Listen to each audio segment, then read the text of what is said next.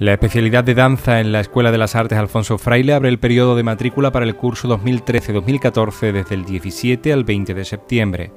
Tanto nuevos alumnos como los que ya cursaron la modalidad de danza el pasado año podrán cumplimentar la matrícula en horario de mañana de 10 y media a 12 y media y por la tarde de 6 a 8 en la sede de la escuela situada en la calle Milagrosa.